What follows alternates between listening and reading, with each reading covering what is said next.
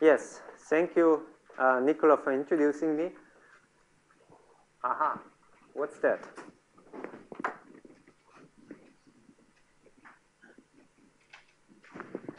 Now it's okay. So, yes, I'm probably famous for developing one of the main solid-state codes uh, in, in the field of density functional theory. Despite, despite this, these talks I will present here are not at all about uh, density functional theory. They really concentrate on methods beyond density functional theory, and in particular, on methods that are suitable for weakly correlated systems. I've looked at the program. You've heard a lot about uh, strongly correlated systems. As far as I can tell, weakly correlated systems have not been particularly on the forefront. Uh, and actually, the first talk is the most difficult talk. The other ones are kind of more easygoing. They will just give you a kind of easy introduction. But the first talk is a tough talk, and I think part of you, maybe half of you probably know all things I present here, but so then this is kind of a recapture of what you might know. And I guess the other half might not know about it, and I, I can only tell you that I can give you only a teaser that hopefully will give an incentive for you to look into this series, into this uh, really very basic series, and actually explore them and read more carefully about them. I think these are really the very basics Essentially, what I'm talking about in the first talk is uh, quantum field theory, quantum field methods, and many-body perturbation theory. So it's really important here, this word many-body perturbation theory, it implies that we actually work in the weakly correlated regime. So we don't deal with strongly correlated electrons. So first an outline. Uh, in the solid state community, first principle simulations are usually done with density functional theory. And I will try to explain why not only density functional theory should be used or why we have to look into methods that go beyond density functional theory. And essentially my, my favorite, or what I've been doing last 10 years is really many-body perturbation theory. And I will try to give you essentially an intro to this many-body perturbation theory. And this is really, I think, if you want to do model Hamiltonian strong correlation, you probably have learned about this. But I think it's really important to understand the basics before moving on to strong correlation. So there's never, ever any strong correlation here. Uh, so what I will talk about is essentially the particle hole picture. So I will talk about uh, second quantization. I'll give you an intro to that. I will then talk about the Gell-Mann-Low theorem, the Wick theorem, and finally about the link cluster theorem. This is the very basic, and I will try to be pedagogical, but it's the first time I do this, at least in one and a half hour. And I know it's almost impossible to do it in one and a half hours. So again, it can only give you a kind of idea. I will then come to Goldstone diagrams and introduce those as a way to actually represent the many-body perturbations here. And you will see in the later talks that I will almost exclusively use Goldstone diagrams to talk about what we do in solid states nowadays. Very briefly also about Feynman diagrams, but I might skip that. If you find these subjects interesting, there are a lot of quite good books to read. Uh, they are usually in quantum chemistry. Szabo Ostlund, this famous book in quantum chemistry that you might want to read. Shavitt and Bartlett, many-body methods in chemistry and physics. And this is a more quantum field theoretical implementation, quantum field theory for the gifted. And I must say I haven't read those. These are the books that my students read. Also, I must say that these slides have been mostly prepared by Felix Hummel, who just finishes his PhD work. I simply had no time to do it myself. So let's go to the very basics. So I'm interested in first principle simulations. I want to do simulations that don't involve any Hamilton, any model Hamiltonians, but that really set out from the many electron Schrödinger equation. And this here is the many electron Schrödinger equation written down. Uh, so we, I will just briefly summarize it because I'm pretty sure you have seen this before. We have here a sum i that goes over all i over all electrons. Yes, i is the sum over all electrons from 1 to n. This is the number of electrons we have in our system. This here is the kinetic energy operator, the Laplacian operating on the coordinate Ri. This second term, well, this is eventually kinetic energy. The second term describes the interaction between the nuclei and the electrons. And again, it involves the sum of all uh, electronic coordinates. And now the nuclear electron potential is to be evaluated at the position of each uh, electron. And the final term here, and this is the most relevant one because it's the culprit, it causes all the troubles we have, is the electrostatic interactions between electron i and electron j. The sum is usually restricted to all j indices being larger than the index i, and the index i runs again from 1 to the number of electrons. So if you solve this equation, you have to determine this quantity here. This is the many electron wave function, yeah? And the number of coordinates you have here is proportional to the number of electrons, and this should be a capital N to agree uh, with the slide above. And essentially it tells you that this is going to be really a hard problem. Actually, the solution of the many electron Schrodinger equation is an exponentially hard problem. So the compute time that you need to calculate that quantity scales exponentially with the particle number. Okay, uh, that's already obvious if you just inspect this many electron wave function. Imagine that you have one electron, a single electron, and you create a, a grid to represent the density or the uh, wave function of this electron. So you introduce it, here it's a two-dimensional grid, you discretize uh, essentially the electrons in space. And we introduce a three-dimensional grid with 10 by 10 by 10 grid points in each direction. Then obviously this quantity will involve something like 10 by 10 by 10, yeah, something like 16 kilobyte. 1,000 words, you multiply about, uh, yeah, why 16 here? Well, just take it about 16 kilobyte why 16 kilobyte? What's that? Probably more like 4 or 8 kilobyte. Well, it's complex. If you use complex data and double precision, it's indeed 16 kilobytes. So this can be done fairly easily. That's almost trivial. But let's imagine we have three electrons. Then we have one, two, three coordinates, R1, R2, R3. And each one is x, y, z, so x1, x2, x3. Uh, y1, y2, 1, y3, and so on and so on. And so that means you have a nine-dimensional grid to represent the quantity. And imagine again we have complex double precision. Then we need something like 16 gigabytes. That's still manageable. So that's still what we can do on quite good computers. But let's move to something like five electrons. Then we need a 15-dimensional grid. And that's already 16,000 terabytes. So that's not what you can store in, even on a modern high-performance computer. So it means to store this quantity, this many electron wave function is per se impossible. So Walter Kohn had uh, a nice idea to uh, slim the problem down, and that's density functional theory. That's quite routinely used in solid state physics. Essentially, the idea is that for five electrons, you don't use one 15 dimensional grid, but instead you try to represent these five electrons by one electron wave functions, by so called orbitals. So you have only five sets and each of these sets is just three-dimensional. And so the first one, the lowest one, represents uh, the lowest electron. The second uh, orbital represents the second electron. The fourth orbital represents the fourth electron, and so on. And essentially, each of these sets is only three-dimensional. That makes it, of course, much easier uh, to work with the equation than with the original equation. It's no longer exponential. It's essentially scaling, usually cubically with system size.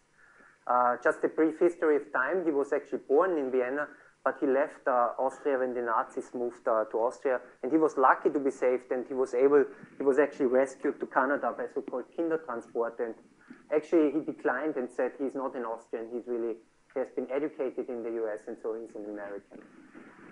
He got, as you might know, the Nobel Prize in 1998 for this kind of theory. So this is the equation that you then solve. It's a one electron part, one electron equation. So this guy here is essentially only dependent on a single coordinate, no longer on these many coordinates we had before, on this awful quantity, but it only depends on a single electronic coordinate, and that makes it much more easy. Complexity is essentially n cube. So I want to give you first a few why density functional theory is in principle a great theory, in practice it's hard to use. So what you do is actually, or the problem is density functional theory is that you have something that is called exchange correlation potential, and this exchange correlation potential captures all the many electron effects that you have in your material. So here you have, again, a kinetic energy term that now operates only on this single coordinate. You have the nuclear electron potential, and that you describe exactly. There's no trouble with that. You have a Hartree potential that describes the electrostatic interactions between the electrons. And finally, you have one term that embeds all the complicated many-electron interactions. But that necessarily is an approximation. And the approximation most people use is some variant of the local density approximation. So you discretize in space, And then you look at the electron density at one particular grid point. Yeah? So you look at the electron density at this grid point, and you check a table. What would be the correlation energy, the exchange correlation energy for the homogeneous electron gas at this density? So all you need is a table that maps the local density to the local exchange correlation energy density. That's all you need as an input. That's a pretty awkward approximation and a very odd one indeed. So you map actually local properties onto the local exchange correlation energy, and you do this via the homogeneous electron gas. Nowadays, functionals not only depend on the density, but also on the gradient of the density S or the kinetic energy density. But think about this kind of approximation. What does it really imply? Uh, imagine that you have two electrons, one electron here on the left side of the nucleus, then the other electron is on the other side of the nucleus. You know that that's kind of what electrons do. They want to avoid each other. That's the effect of Pauli repulsion. It's also the effect of Coulomb repulsion, right? Electrons repel each other because of the Coulomb repulsion. Because they are fermions, they will never be the in the same orbital. And if one electron is to the left, the other one is to the right. And they're kind of moving in a concerted fashion. So if this electron moves over, the other electron moves over there. But how can you capture something like that with a local density approximation where you look only at the density at one space point? That's kind of impossible, right? But it's approximately possible, and this kind of correlated, I always call it a correlated dance, or entanglement as people call it in quantum information theory, is at the very heart of correlation. So electrons are correlated when one electron is to the left, the other one will try to avoid this region and move over to the right. More precisely, it's more likely to find it on the other side than to find it at the same place. This is intrinsically non-local and also in principle, one could do it with DFT. It's very difficult to obtain this information from the density alone. Okay, this sounds esoteric, but let's give you some examples where similar things do happen. Van der Waals interactions we have two nuclei now, one nucleus here and another nucleus here. And let's say we have two electrons, yeah? So one electron always sits around this nucleus and the other electron always around, uh, sits around that nucleus. Now what happens is that these two electrons again move in a concerted fashion. So if this electron is on top here, so it is more likely to be found up here above the nucleus, then the other electron, interestingly, will be usually preferentially also above here, above the nucleus and they will move in a concerted fashion. So if this guy moves over, so if it kind of moves over to the other side of the nucleus here, then this electron will, in a concerted entangled fashion, also move down. That's what you know. It's actually nothing but van der Waals interaction. So this is exactly van der Waals interaction, that these two electrons really move in this concerted fashion around the nucleus. And that lowers the energy because you have a dipole here, another dipole there, and in sum, yeah, kind of a positive dipole interaction, is lowest energy. It's another case that is really difficult to describe with density functions here. There are a lot of fixes now where you inspect the density at two points in space, but anyway, in a ballpark, this is a property that is pretty much difficult to describe with density function theory. I want to be a little bit more precise. What we can also look at is the wave function as a function of the difference between two coordinates. We have this many electron wave function of two coordinates, and now we look at the wave function as a function of the difference between two coordinates. So these are two electronic coordinates, r1 minus r2, and we look at the wave function as a function of the difference of two coordinates. And there are two important features in this wave function. One is this cusp here. Well, let's look at, uh, uh, at electrons with equal spin, then you know the wave function must be antisymmetric. If the electrons have the same spin, two, two electrons with the same spin, the wave function is antisymmetric, so there's zero probability to find the second electron in this place. But there's another correlation effect, and that's essentially a combination of Coulomb and kinetic, and that's called the cusp. Yeah? So even if electrons have a different spin, if they, if they have a different spin, you don't need to consider antisymmetry in space because you have it in spin coordinates. But even then, there is some peculiar property at r is equal to zero, and that's called cusp. It kind of expels the electrons essentially by a combination of kinetic and Coulomb repulsion, here close to the nucleus.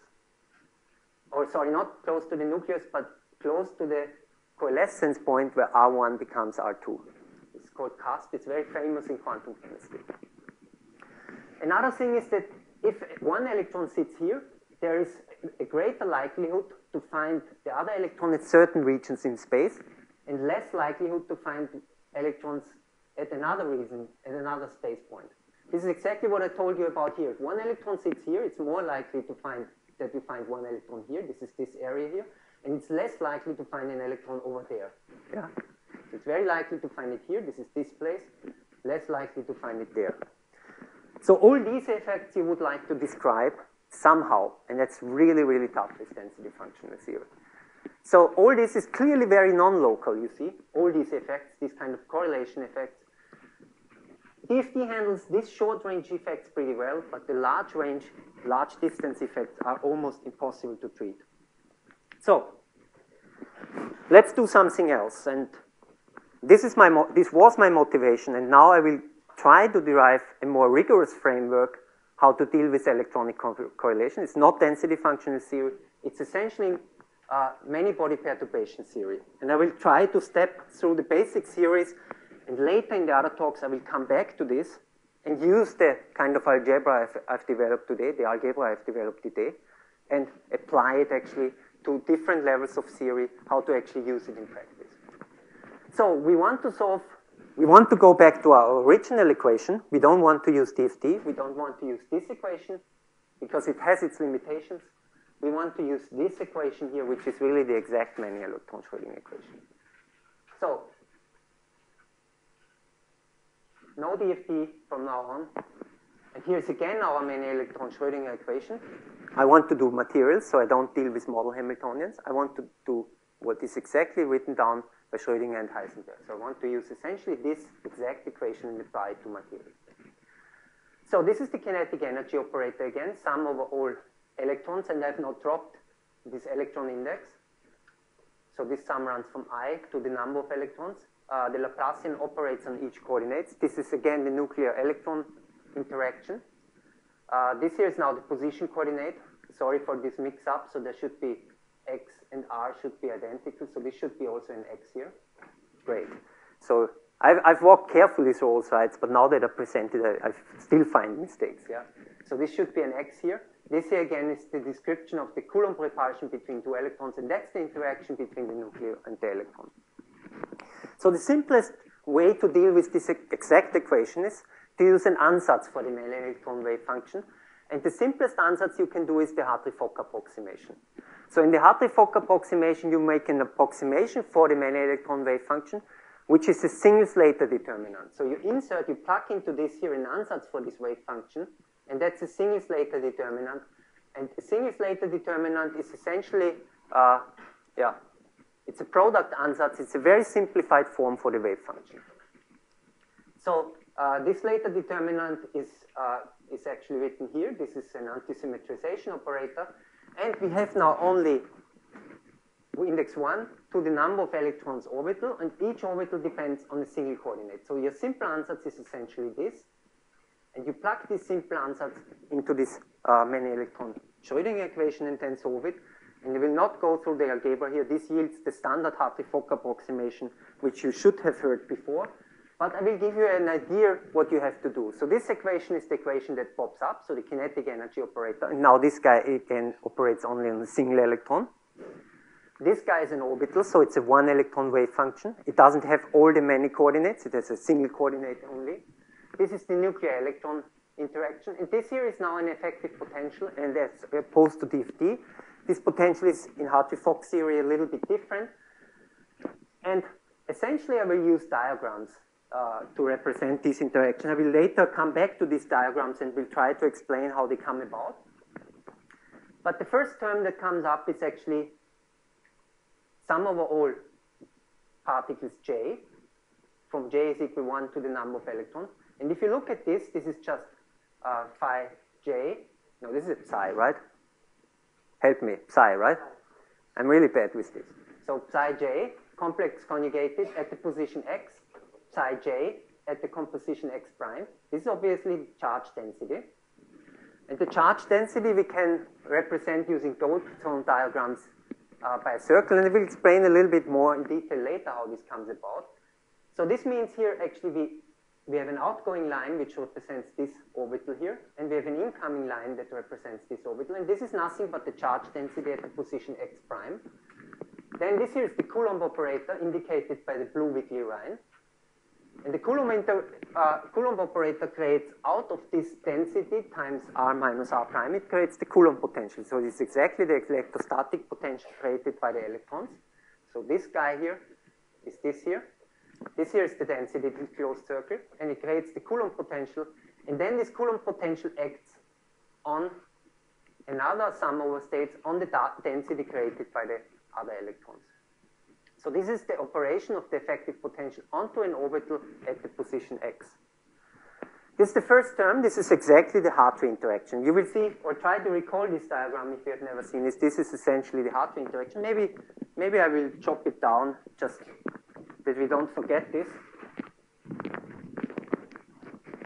Because we will come across this today and next time uh, is essentially the Hartree interaction. Now, the second term, and I will come again to this term and repeat it actually in the next lectures, is the exchange interaction.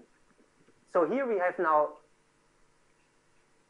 again, this orbital, but now at the position x prime, as well as the position x. And here we have the same quantity represented by this green arrow. The difference to before is now that we don't close it at this point, but we leave it open and contracted differently in space. Essentially, we connect this position to this orbital and that position here to the other orbital. So we have this kind of diagram here. And here's again the Coulomb interaction r minus r prime. This here is the exchange interaction. And as you know, this has no classical analogon in, uh, in electrostatics. So this is essentially the electrostatic interaction or Hartree interaction. This is the exchange interaction that is related to the antisymmetry of the main electron wave function. Ah, now it works. Hartree-Fock is a good theory. It's a quite simple theory. Uh, actually, this theory is variational because we've made a simple ansatz for the many electron wave function.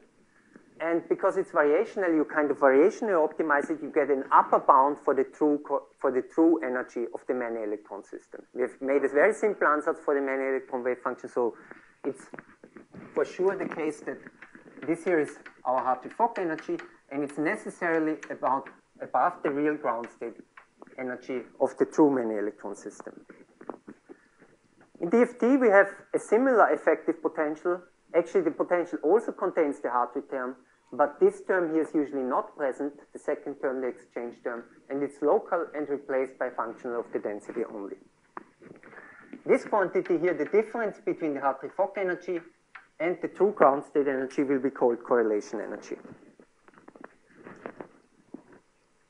The idea now in many body perturbation theory is that we set out from this simple solution, from the Hartree-Fock solution, and, and go from the Hartree-Fock solution to the true many electron solution. So we start from the original Hartree-Fock orbitals and try to actually describe what happens if we switch on uh, the many electron Hamiltonian. So we try to, to see what happens if we start from the Hartree-Fock Hamiltonian and make perturbation theory to the true many electron Hamiltonian. And essentially we switch from one guy to the other adiabatically slowly, by slowly switching it on, and we will try to actually determine what is the magnitude of the correlation energy if we slowly switch from the Hartree-Fock Hamiltonian to the true many electron Hamiltonian. Now this method, you must think clearly, this method cannot work always either, right? This method will only work if there is some connection between the Hartree-Fock ground state and the true many electron ground state. So otherwise perturbation theory might fail and diverge or yield unphysical results. So there must be some way to switch from the Hartree-Fock to the true many electron uh, system, or these two must be in some way related. We will come back to this later. This, by the way, is usually the case if the system is weakly correlated. So these talks, all the talks I have are really constrained to systems that are nowadays called intermediately correlated. This is not about uh, strongly correlated systems, so this class of perturbation series will always fail if you have a strongly correlated many electron system. So then you have to apply methods like dynamically mean field theory or DMRG density matrix renormalization group theory. In quantum chemistry, you then have to use multi-reference methods, and essentially the difference is in quantum chemistry that you don't start from a single Hartree-Fock determinant, from, but from multiple Hartree-Fock determinants, and then try to do something like perturbation theory, which turns out to be really, really difficult to do in practice. So, how do quantum chemists approach the problem? I've told you before, what you do first is you calculate the Hartree-Fock ground state, and later I will come back to this. You can also use the Kohn-Sham ground state for, for the starting point of your perturbation series. So you calculate the Hartree-Fock ground state, and this diagram is, is very easy to understand. So essentially what you have here are 1, 2, 3, 4, 5, 6, 7, 8 states. We have 8 electrons. So you occupy, you put your electrons in the ground state into these lowest lying orbitals of the Hartree-Fock Hamiltonian. And the residual orbitals, the other ones, are essentially empty to start with. With 8 electrons. These are the Hartree-Fock orbitals, the lowest Hartree-Fock orbitals. In many cases, if you do true systems, you have a band gap between this here and that state. So there's truly, most cases, a band gap. So if you do a molecule, but even if you do a solid, there is a true band gap. And now I can say a little bit more about this perturbation theory. Actually, this perturbation theory usually works if there is a band gap setting out from the Hartree-Fock Hamiltonian, moving to the true many electron Hamiltonian. If this band prevails, throughout the description, then usually the many-body perturbation theory works. So in many perturbation theory, what you now do is you actually expand your solution into the ground state, Hartree-Fock determinant. I call it ground state. It's not the true many electron ground state. It's the Hartree-Fock determinant. This is your psi. Now, what's this symbol? Phi. Thank you. Phi zero. Actually, my, my slides are not entirely consistent, so I, I switched from phi to psi in several places, unfortunately. I realized that too late, and since uh, uh, Felix Hummel did many of the slides, he used an inconsistent notation. So this is the, yeah, well, I had different notation than him, so and it was too late to change it, yeah? And he didn't want to, to be honest, okay? He thought just you need to be more flexible, okay? So this is our phi zero, this is our this is our single Slater determinant where we have put the electrons into these occupied orbitals, and these are unoccupied. Now in quantum chemistry, but also in quantum field theory, what you do is you expand the true solution, the true many electron wave function into single excitations, and you probably have seen this maybe this slide maybe also in the talk of Ali Alavi. This is by the way my slide originally. so you expand it into single excitations, and what does it mean? It means that you remove an electron from this orbital and place the electron into the orbital, into a previously unoccupied orbital. So you remove an electron, kick it out here, and move it up into this previously unoccupied orbital. This is the single excitation. Here is a double excitation, where you actually take out two electrons from the ground state and put it into these orbitals A and B. In perturbation theory, what you then need to do is you just need to determine these coefficients here in front of these single excited states, double excited states, triple excited states, and so on and so on. Here we have eight electrons, so you can have actually up to eight excitations from the ground state orbitals into previously unoccupied orbitals. That's the maximum you can have. Actually, does this help us? This expansion of the many electron wave function in principle is as complicated as our original problem. We haven't gained a lot. We have just rephrased the problem a little bit. Does this still work? Yeah. So we have just rephrased the problem a little bit. What we have done is we now start from a Hartree-Fock determinant and apply a perturbation theory essentially to determine those coefficients. Just a little bit of a rephrasing, because the point here is how many coefficients will we need to use well, it turns out the number of coefficients is gigantic. Actually, the number of coefficients, if we have 32 of these orbitals, and if we have only 8 electrons, even then it's almost unsolvable. Because the number of coefficients we will have is 32 over 8. That's 10 to the 26. This didn't help us at all. Previously, we had like 10,000 terabytes. This is even larger in practice. So we haven't really gained a lot. Well, we are now with eight electrons and no longer with five electrons. But this is, we are still having this exponential or rather combinatorial wall that we had already originally. But the trick now is maybe we can determine these coefficients using some clever perturbation theory and truncate the perturbation theory at some finite order. If we can achieve that, and have a computationally feasible scheme. I don't care, by the way, about schemes that are not implementable on a computer. A scheme that I like needs to be implementable on a computer and needs to run reasonably fast so that we can do true modeling of materials. So if we can determine those coefficients kind of perturbationally, we are kind of done. That might be feasible to implement on a computer program. Okay, how does one do this perturbation theory? There are infinite many papers on this, probably. And in the 30s, 50s, well, between the 30s and the 50s, there have been many different ways to phrase this perturbation theory. It's always about the same. It's always about how you determine those coefficients. Yeah? This is essentially the point. But there are many different ways to derive the equations. And from my point of view, the most elegant one is via second quantization, Gell-Mann-Low theorem, Wick theorem, and the link cluster theorem. These are essentially the four theorems that you need for a very compact way to write down this perturbation theory. Again, my, my, from my point of view, these are the very basics. If you have got those basics, you can move on to strong correlation. But first, you need to completely be firm with what you do in these four theorems. Again, I mean, this will be very tough because I have only one hour left. Uh, maybe I will take 10 minutes more. Yeah, I will try. So let's talk about second quantization, and I've heard you have already had some talks about it, some introductions to it. I anyway want to give for those few that have not heard about second quantization, give you an idea what it does. Second quantization is not something new, it's just a clever way to introduce an algebra to solve the many electron Schrödinger equation. So it's nothing, there's nothing new in second quantization, it's just a clever rephrasement of the many body wave function of the many-body Schrödinger equation. So essentially, it's, it's just a clever algebra to solve this equation here. Yeah?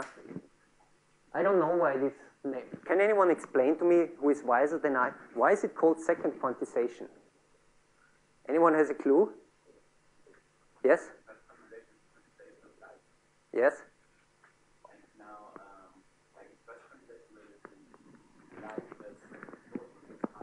Yes?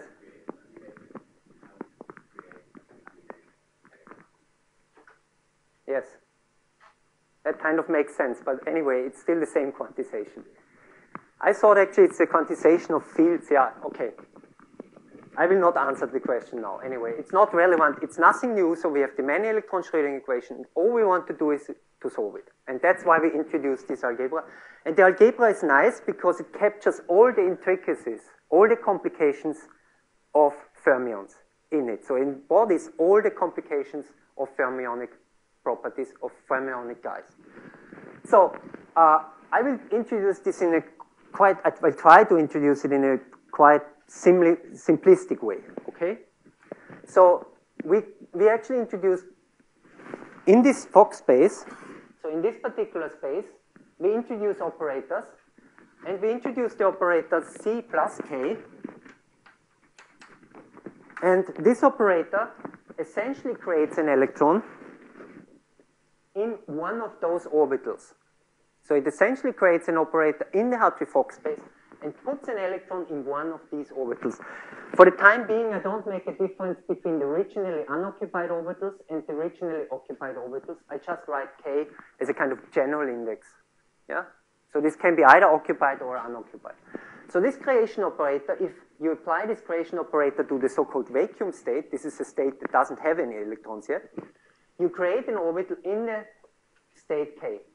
This here is essentially the Slater determinant, so this uh, sign here is essentially calculating the determinant. So this operator, C dagger k, creates an electron in the orbital, in the single electron orbital k. Now imagine that we create a second orbital, or create a second electron in an orbital j, so it's C dagger j.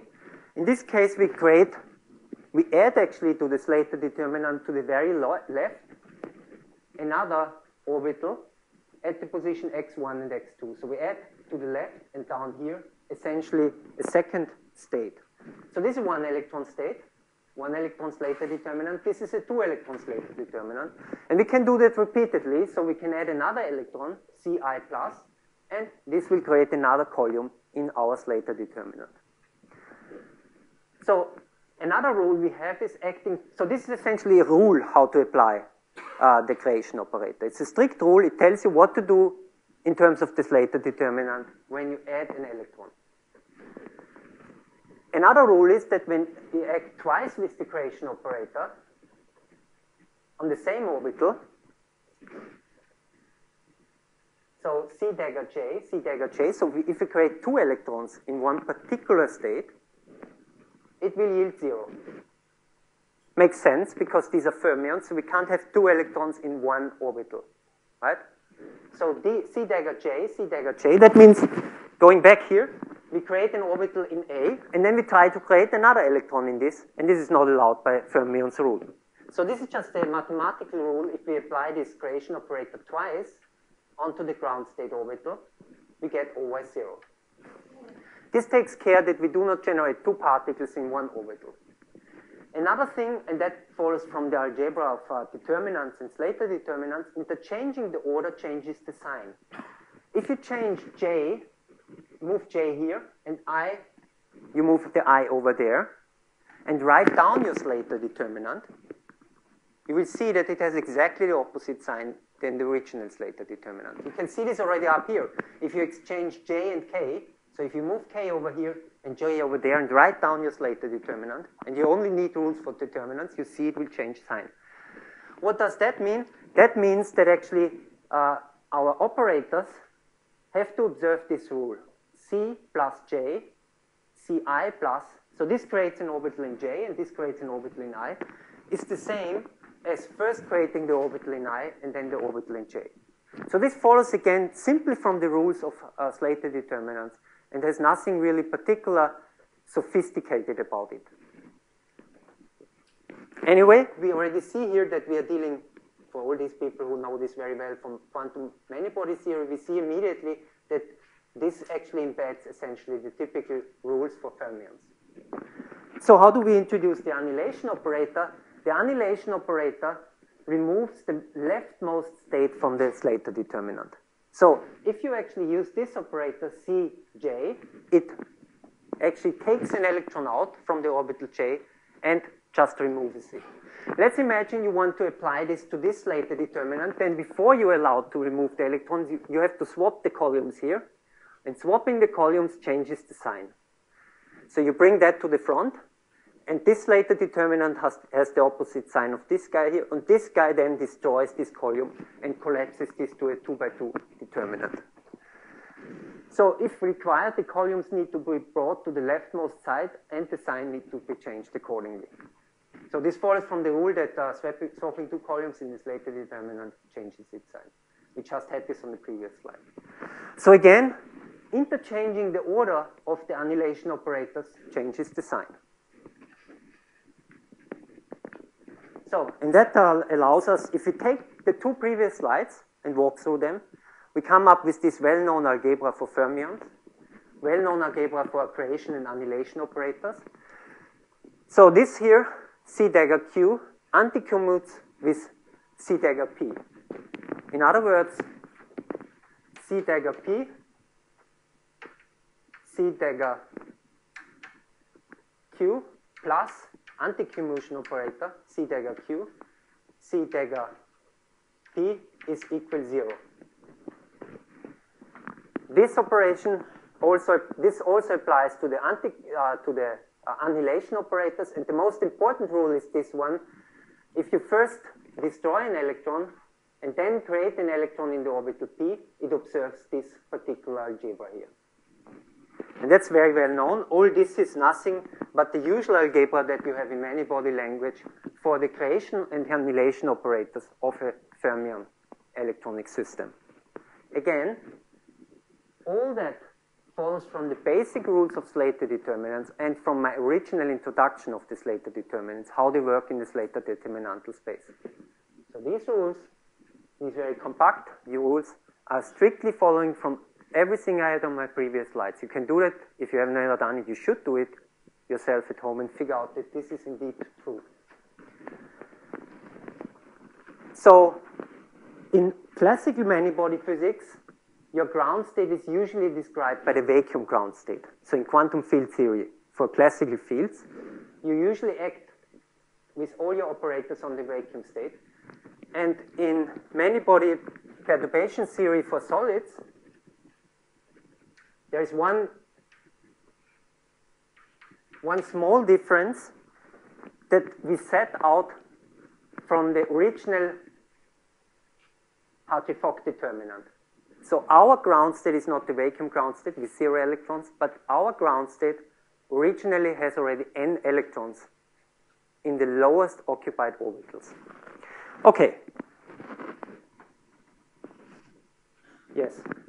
So our ground state, we replace the vacuum ground state that you have in usual many-body perturbation theory, or it's often written like that or like that.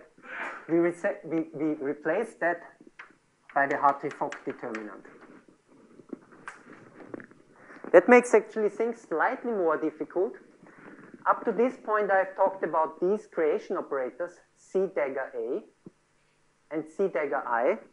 And now we create a new set, or we introduce a new set of creation and annihilation operators that are closely linked to these original operators, but they are slightly different, subtly different.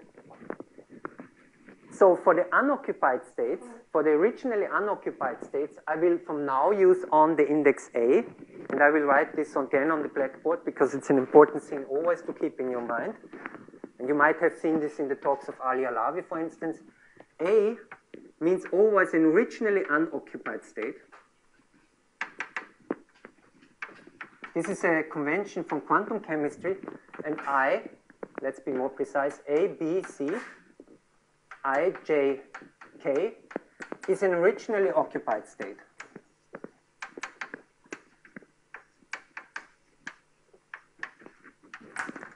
So, now for the unoccupied states, for those states that were originally unoccupied, we introduce or we leave the creation and annihilation operators as they were originally.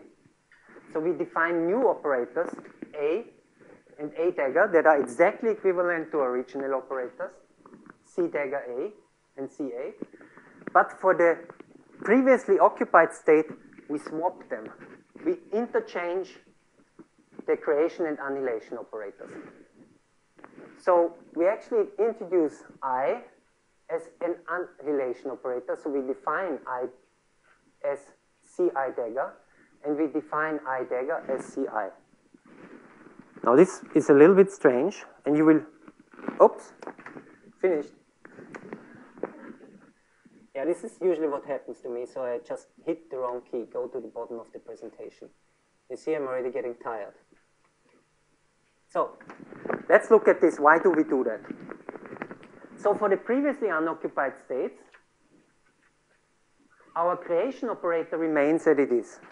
So A dagger means create an additional electron in the previously unoccupied state. But I dagger, I dagger actually is the same as Ci. So it actually creates a hole so it takes out an electron from the system. So Ci, that's the annihilation operator. And I dagger then is nothing but a hole creation operator. So I dagger creates a hole. Ci creates a hole, right? So it's the annihilation operator. And I dagger is actually now identified to be the hole creation operator. And that makes a lot of sense. And from now on, we have to be extremely careful. And on purpose, I use two different operators. I use either Ci plus, which creates an electron in a previous occupied state, or I plus, and I plus creates a hole. And that makes a lot of sense because we set out from a Slater determinant where we have occupied certain number of orbitals. We have setting out from the Hartree-Fock determinant where these states are originally unoccupied. So our creation operators will create a hole in this subspace. That's a sensible definition. So I plus creates essentially a hole, A plus creates essentially a particle. So let me write this down here. So I plus creates a hole in the occupied manifold and it's therefore equal to Ci, and A plus creates an electron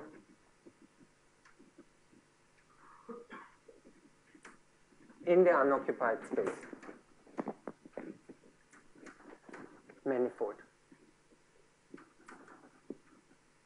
So this is Ca+. plus. This is a useful convention and you should apply it for quantum chemistry you should also apply it if you deal with solid state systems. So this slide really summarizes everything we had up to this point. It kind, yeah?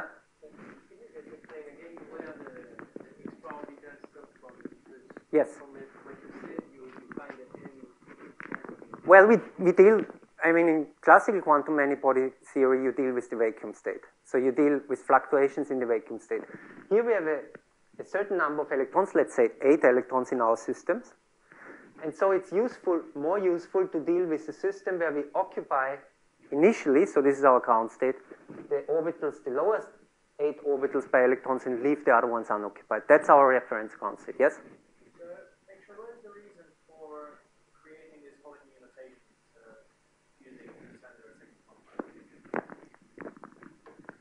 It makes the algebra far more compact. And it's also, I mean, the difference, again, the difference is that in classical quantum field theory, for fields, you start from a vacuum ground state. Here, our ground state, our original ground state, is the ground state of an n-electron system, the Hartree-Fock ground state of an n-electron system. So our perturbation theory, and that's what I've written down here, sets out from the Hartree-Fock ground state, where you have eight electrons, yeah, originally already in your system. This is different from quantum field theory, classical field theory for fields, yeah, where you have really the vacuum state and want to calculate the fluctuation. Here you have really eight electrons to set out. So your ground state, your, I shouldn't say ground state, your zero order ground state, okay, is a state where you have eight electrons that occupy the lowest orbital. And then how you change that? Well, by introducing this creation operator. That creation operator now needs to annihilate an electron here, yeah, so it takes out an electron. I plus takes out an electron out of this orbital. That's a useful thing to do, and that's therefore the hole creation operator. So this operator I plus creates a hole in the originally occupied, in the zero order ground state occupied manifold. This creation operator creates an electron in the originally unoccupied manifold. So there we leave it as it used to be, and for the unoccupied we change it. Okay? Makes sense, right? But it's a good no, it's a good question. And that's why probably I cannot explain it in, in one and a half hour. Actually, Nicola asked me whether I want to talk uh, four times one and a half hour, and, and originally I thought it's impossible to fill so many lectures, and now I'm, I think it was a mistake. I should have said more hours. Now, this is really important. I mean, this is really important to understand. This is our ground state in classical quantum field theory. There would be all black bars, no electrons in originally. Here the difference is that we set out from this state here where we have eight electrons already in the system to start with. And then we introduce, we kind of have this identification, and I plus then means create a hole here because it annihilates an electron in the ground, in the Hartree-Fock ground state. Yeah? So here are the anticommutator relations, and this one I could write down both for I as well as for uh, J and A. So the anticommutator relation AB is 0, A plus B plus is 0, and A plus B is equal delta AB.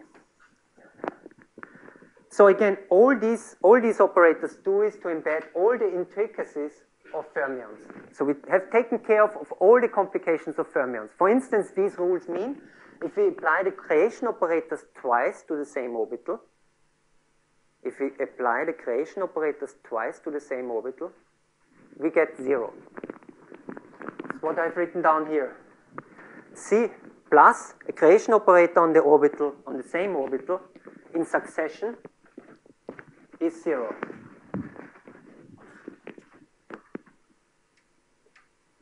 So using the creation operator twice on the same orbital gives zero. That makes sense. You cannot have two electrons in one orbital. Using the annihilation operator twice on the same orbital yields zero. There are very few cases that yield anything, and the only case that yields anything is this one here. So you first annihilate an electron and then create one. That's delta AB. That's one of the few cases that can yield something, and only if those two operators operate on the same orbital. So, what can we do with these operators? Well, now we can rewrite the original Hartree-Fock Hamiltonian the original many electron Hamiltonian I had before, we can now rewrite using those operators. That's the trick. So we, re, we re, essentially rewrite the previous many-body Schrödinger equation, and we will use those operators. And here are some operators that are useful. This operator annihilates an electron in the orbital p and then puts it back in. So this annihilates an electron and then puts it back in. When will this yield any values? Look at this here. When will it yield values? Well, it will yield a value if you first create a hole here and then put back the electron into the same place, right? It will yield no value, zero essentially, if you apply it to unoccupied states. So this operator is kind of a counting, it's an operator that allows you to count the electrons, right? So it will only yield a value if this orbital was already occupied originally, and then you put back in the orbital so you don't do anything to your state. So it essentially kind of does nothing, but if there was already an electron, it will take it out and then put it back in. If this is used for a previously unoccupied orbital, you will get the vacuum state. So if you, if you operate with this operator onto a previously unoccupied orbital, you will get the vacuum state, zero. You will get, not the vacuum state, sorry, I correct myself. You will get zero, yeah? So this is a useful operator. It just counts the number of electrons in the orbital p. Yeah? It determines the number of electrons in the orbital p. So actually from this we can immediately construct an operator that counts the total number of electrons. This is this operator. We simply sum over all orbitals. Yeah? So this is essentially something like a density operator. It determines the number of electrons in a particular orbital p. So it's something like a density operator. And this here is the density matrix operator, actually. This creates this creates a hole in orbital p, or takes out an electron of orbital p, annihilation operator for orbital p. And this is a creation operator in orbital q. And this is called the excitation operator or the density matrix operator. It essentially allows you to calculate density matrix between two orbitals p and q. If you have the density matrix, you can actually translate potentials, local potentials or non-local potentials into the correct equation that you would use in second quantization. So a one electron operator can be also always written as the potential expressed in this, in this basis. So we have orbitals yp. No, you can't move this up. Hmm. So you have actually v, and what I write down here is VQP is equal Q this here is a one electron operator that has a single coordinate. And this VQP is nothing but essentially the original operator in this particular basis of orbitals. These here are the one electron orbitals from Hartree-Fock. And all you need to do is you need to evaluate these one electron orbitals in this particular basis and multiply it with the corresponding density operator. So this is a means to convert a one electron operator into this language of second quantization. This is very quick again.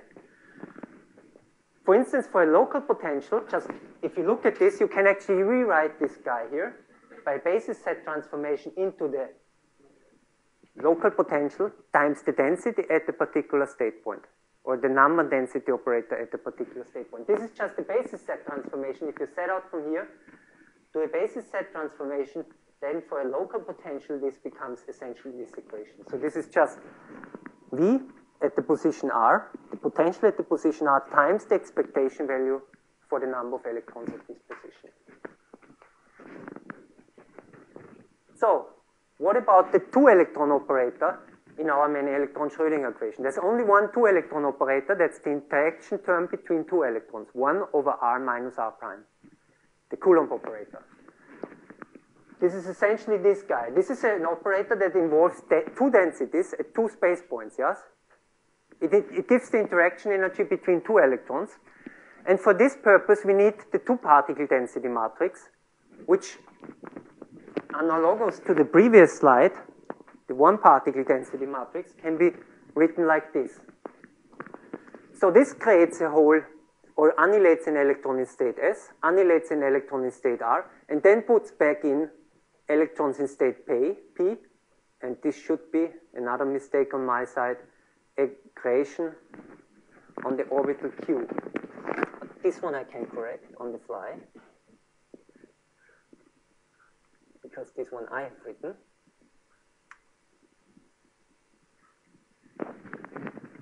Well, analogous to the one particle density matrix, this operator is used for the two particle density matrix. And this here is now the Coulomb potential in this particular basis. I will give you an, a definition of this in a minute here on the blackboard, but this is exactly the Coulomb operator in this basis of the Hartree-Fock orbitals. And this here measures kind of how likely it is to find an electron in orbital s and r. And then you put in the orbitals back into the orbitals p and q. Well, to give you some feeling what it is, I've, I've run through the algebra here. So you, this here is essentially the many electron wave function. Here you put in your operators, your two particle density matrix operators. Then you can commute those two using the rules we have had before, the anti-commutation rules. So you exchange those two here.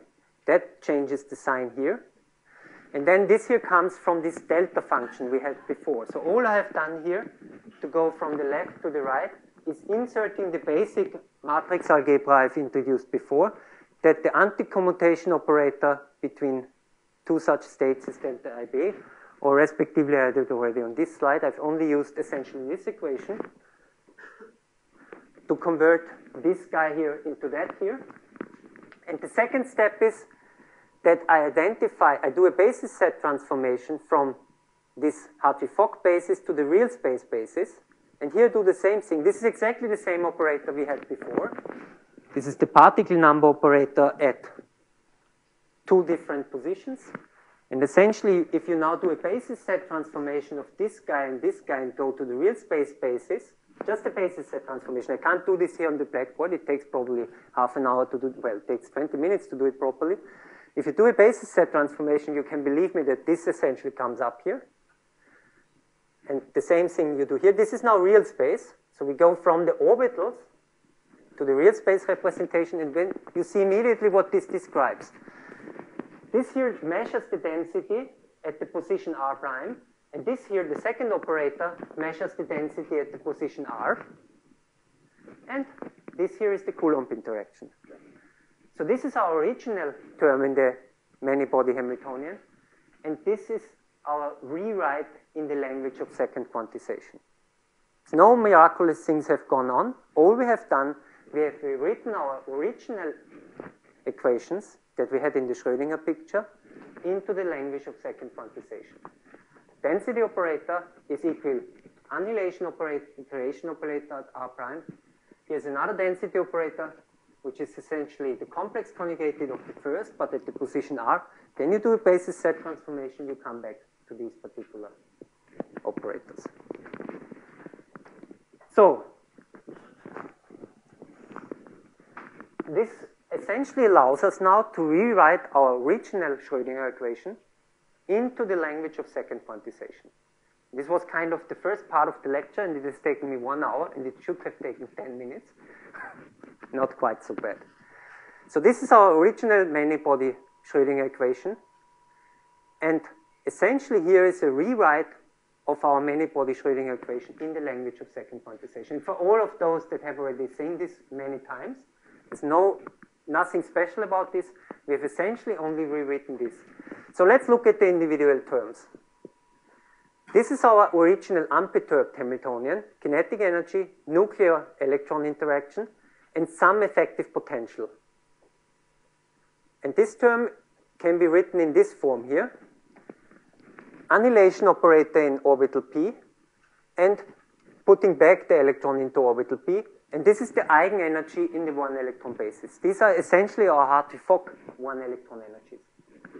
This here is essentially our unperturbed Hartree-Fock Hamiltonian. And the rest is our perturbation. And our perturbation describes the move from the exact many electron Hamiltonian, this is this term here. This here is our Hartree-Fock Hamiltonian, so we switch off the Hartree-Fock Hamiltonian and switch on the exact many-body electron Hamiltonian. So this is our unperturbed Hamiltonian, this is the Hartree-Fock Hamiltonian, and now in many-body perturbation series, we switch from the Hartree-Fock Hamiltonian to the exact many-body Hamiltonian. And this can be written as in second quantization. We have essentially only the electron-electron interaction, which is written down here. This here essentially measures kind of the number of holes at one place, and this is measuring the number of electrons at another place. And this here is the effective interaction, one electron potential that we switch off. It's the term I've talked about before, or on the two slides that were presented here. So, usually one chooses the reference Hamiltonian to be diagonal in, its own eigenfunctions. What does that mean?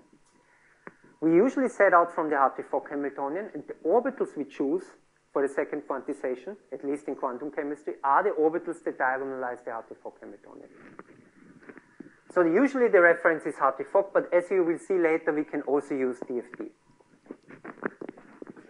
So, now the rest I have to do probably quite quickly, but these are pretty standard procedures. Uh, essentially, we now have to, what we have now ticked is actually second quantization.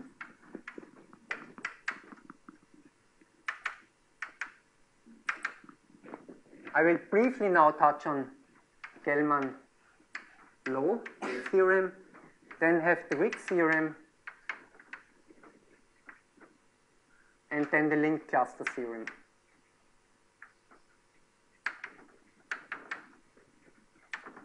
So we have essentially done the first part, and we have still three things to do. Gell-Mann-Low theorem. Yes, I'm getting desperate. and you're probably getting more desperate, I guess, because this is really complicated. And you realize that only when you start talking about it, you can look at your slides and you don't have a clue how it will work when you present it. So this is not so difficult. Actually, what we will do now is we will switch. We will switch now from this unperturbed Hartree-Fock Hamiltonian to the many-body. So this is a point for those people that have stopped thinking. This is maybe a point to try to come back. Okay? yes. Okay. Everyone has stopped thinking. so we now switch from the from the uh, from the Hartree-Fock Hamiltonian to the exact many-body Hamiltonian. The other thing to consider here that we are working in the language of second quantization. So our Hartree-Fock Hamiltonian, we use Hartree-Fock orbitals, they diagonalize the Hartree-Fock orbital. In second quantization, this looks like this, and this you have seen, I'm sure, in other talks here, right? And this here is the electron-electron interaction, so if you haven't understand the steps, how we got there, don't worry, you can just accept it, that this is our Hamiltonian in second quantization. This here switches on the electron-electron interaction, and this here actually switches off the Hartree-Fock Hamiltonian. So it switches on the potential energy terms in the Hartree-Fock Hamiltonian. It switches off the Hartree-Fock, so both the Hartree potential as well as the Fock potential. And we switch on instead the exact many-body Hamiltonian. So, this is pretty standard. Uh, actually, we now make a few tricks. This is our perturbation, H1. And what we first do is we go to the interaction picture for time-dependent perturbation theory. Essentially, we rephrase our operator, our time-independent operator, as a time-dependent operator. So H1 is in principle non-time-dependent perturbation, right? And we introduce here time-dependent perturbation theory the time is only here to switch. Later, the time will be only used to switch from the uh, from the from the unperturbed Hamiltonian to the perturbed Hamiltonian. The interaction picture implies that we actually, uh, in the interaction picture, define actually the interacting Hamiltonian as e to the power of i h0 t times the perturbation, and here we multiply with the complex conjugated. Then states involve according to this Schrödinger, slightly modified Schrödinger equation, I d psi dt of I interaction picture is given by this Hamiltonian here in the interaction picture times this uh, time-dependent state. The first step is to derive a time evolution operator that describes how a state at time t0 evolves to a state at time t. This is our time evolution operator, and you can obtain the time evolution operator by essentially plugging those definitions into the many-body Schrödinger equation and running through the derivation. The time evolution operator will allow us to propagate the state at time t0 to a state at time t. Quite elegant compact notation. And here is our final result. And this looks very much a little bit like a Dyson equation. Well, not quite. So we have here the time evolution operator is 1 minus i times our Hamiltonian in the inter interaction picture times, and that's our problem. It's obviously recursively defined because this time evolution operator comes up in here again. Again, this is pretty straightforward. It's basic math. You can do it in a few lines. You just insert the defining equations into this uh, into the many electron Schrödinger equation to actually derive the time evolution operator. Okay, this is obviously not a closed solution. To obtain a closed solution, you essentially start here with the delta function and obtain the first order term, and here then higher order terms uh, are obtained from this equation. Essentially, you start with ui is equal to 1, so you throw away this term here to obtain 1 here, so then you insert the 1 here, and then you iterate this equation to obtain a closed equation for the time evolution operator. The good news is, essentially, here in this lecture, I will not go beyond this first order term. So I will never actually, I will only use essentially those two terms here in the time evolution operator. And this is pretty much standard, so it's 1 minus i. And then the integral from t0, is the starting time, to the final time t, times the Hamiltonian in the interaction picture at time t prime. Essentially, I will use only this here. And the Gell-Mann-Low idea was now to slowly switch on this perturbation. So we actually switch from the original Hartree-Fock Hamiltonian to the many-body electron Hamiltonian. This is here again. We switch from Hartree-Fock to the many-body Hamiltonian by slowly switching on our perturbation. So we multiply this time-dependent Hamiltonian in the action picture by a kind of damping term. Now let's look if uh, actually tau, this, sorry, this is eta, right? Again, weakness in these Greek symbols. Actually, I'm joking a little bit. Actually, I know it. If I concentrate, I know it. But if I give a talk, I always forget it. So eta is larger than zero. That means if you evaluate this quantity here, tau, at the time t minus infinity, eta is positive. If you evaluate this at minus infinity, it's obviously zero, right? So at t minus infinity, we have zero here, we have no perturbation, and we essentially slowly, slowly switch on this perturbation. And at t is equal to zero, eta times zero, this is essentially one. At t is equal to zero, we have then actually our exact many-body Hamiltonian. So we switch from the Hartree-Fock Hamiltonian slowly, slowly, slowly, adiabatically to the many-electron Hamiltonian. Okay, well, then essentially, our many-electron wave function is given as the time evolution operator from minus infinity. This is the starting point of our derivation. This is the end point where we have the full many-body Hamiltonian. So this is our time evolution operator that propagates states from minus infinity to time zero. If our perturbation series converge, and then we can actually write our many-body wave function as this time evolution operator from minus infinity, where we have the Hartree-Fock Hamiltonian, times, times this Hartree-Fock wave function. So this is the one single Slater determinant. This is the one determinant that has only a single Slater determinant. This is our starting point. This is the Hartree-Fock Hamiltonian. We switch adiabatically from this Hartree-Fock wave function to the true many-body wave function. Yeah? And all we need to do then is to propagate our Hartree-Fock wave function using the time evolution operator to the many-body wave function.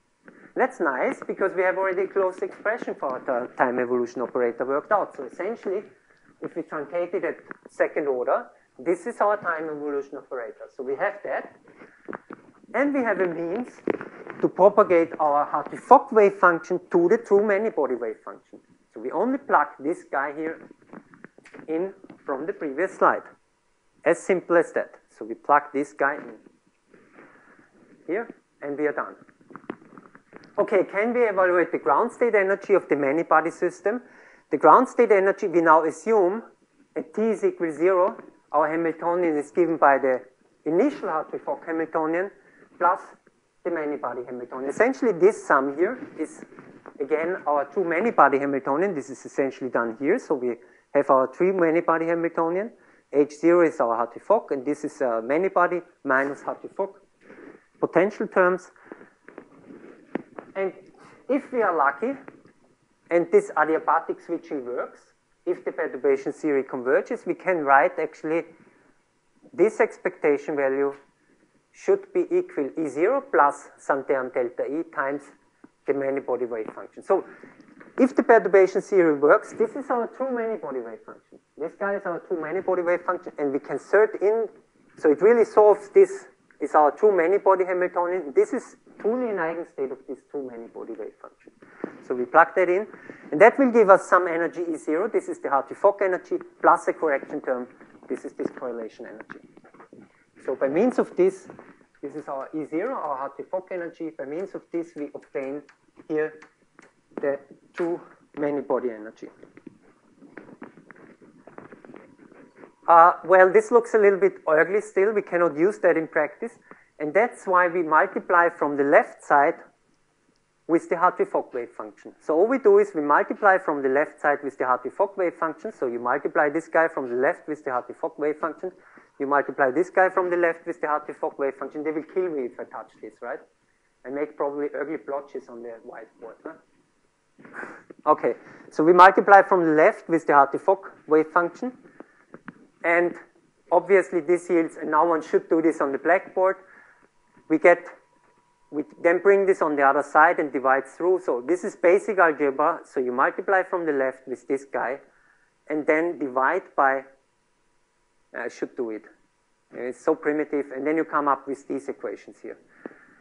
So this here is multiply from the left with the vacuum ground state. This gives this term here. This gives that term here.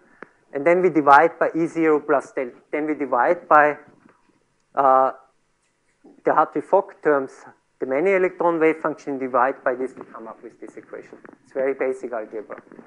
So this is our, our correlate. This is essentially the true ground state energy of the many electron wave function. And now the only thing we have to do is, for this guy, this is the many electron wave function, we insert the Hartree-Fock wave function times the time propagation operator from minus infinity to zero. So this is the true many-body wave function. And we just plug that in and we are done. And we have now, for the first time, a compact equation for the total correlation energy. And all it involves are Hartree-Fock ground state wave functions, time evolution operators, and the unperturbed Hamiltonian as well as the perturbation. As simple as that. So this is again exactly the same equation copied from the previous slide. We have now an equation that gives you the Hartree-Fock energy plus the correlation energy, which is the true many-body energy, and it's given by this compact equation. The only catch to this is that we have still an infinite sum in this time evolution operator, and in perturbation theory, we now go order by order through these terms. The other thing I want to mention, all operators are in the interaction picture, but from now on, I will remove the I here. So it's implicitly assumed that all of the operators we have here are in the interaction picture. So this is in principle nice because in, we have a really nice compact equation for the correlation energy, However, we still need a, vessel. Well, actually, even, even, better, these are really vacuum expectations. These are really ground state expectation values. These are the Hartree-Fock wave functions. So this really, everything is in principle known. We only need now a recipe to calculate vacuum expectation values because these guys here are the Hartree-Fock determinant. In many body perturbation theory, traditionally this would be the vacuum ground state, right? I've told you before we have actually chosen a different ground state, namely this ground state where we have previously initially occupied eight states. It's the only difference. But this is equivalent to the vacuum ground state of many-body perturbation theory. So we need a recipe to calculate these vacuum expectation values. And that's where the second theory comes in. So this was okay. The Gell-Mann-Low theorem worked pretty, pretty fast. So let's look at the Wick theorem. The Wick theorem is, is actually the backbone of all this. Who knows the Wick theorem? Excellent. No, it's not great because actually, again, who knows the Wick theorem? Who has never actually studied this? Yeah, come on, this can't be. No, no, no, no, no, no. Now we, this, uh, the, who knows the Wick theorem? Who has heard about it, but doesn't know it? And who doesn't know it? The sum is not the audience. Don't feel embarrassed. Okay, here is something embarrassing. I had no clue about the Wick theorem 10 years ago, and then I was already full professor. Okay? This is not embarrassing to know nothing about Wick theorem because in many, in many classes, this is no longer taught. Yeah? Many body perturbation theories slip from the radar. Okay, now I, I, I need to entertain you at least, at least a little bit, right?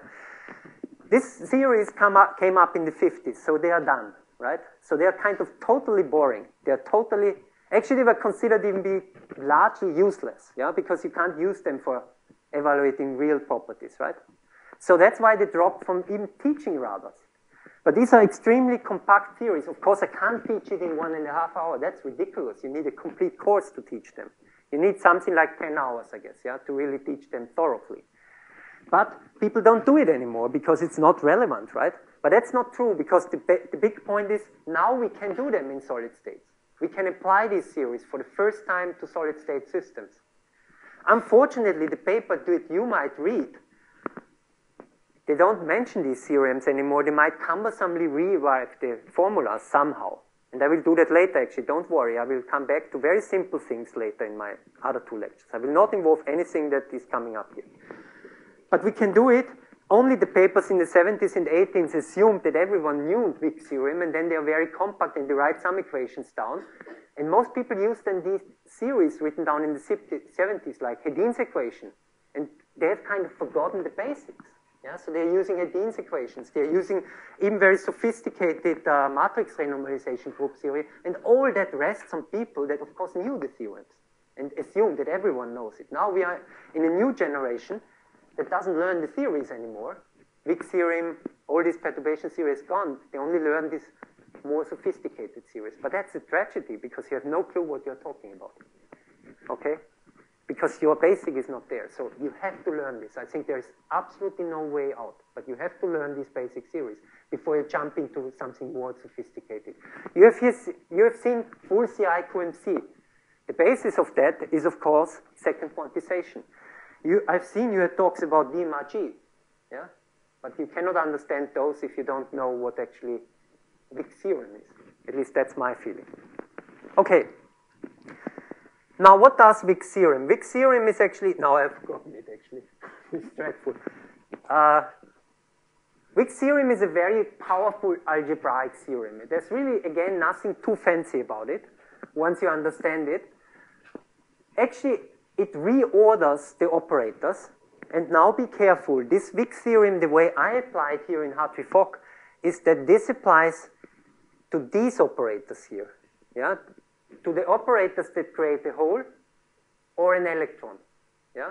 So my normal ordering operators work on the level not of these operators, of these fundamental creation and annihilation operators, but on the level of these guys here yeah, that create a hole, respectively an electron.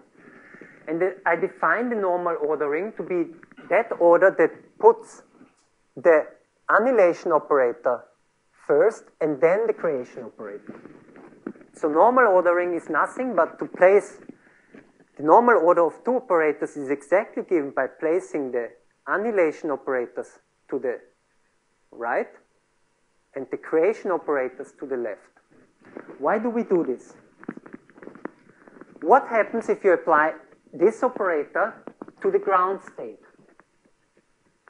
Okay, think about it. What happens if we apply this operator to the ground state wave function, to our Hartree-Fock wave function? Okay, we will, we will do this just for fun. So what happens if we apply the operator I or the operator A to the ground state Hartree-Fock Hamiltonian? Let's go back to our slide that I had a few slides before. So what happens if we apply an annihilation operator, let's do this first. this A is equal to annihilation operator. So essentially, it takes out an electron of a previously unoccupied state. It removes an electron from a previously unoccupied state. So what happens if we apply this operator to the vacuum state? So if we apply this operator, and I really need more blackboards here, no, no, it's not good.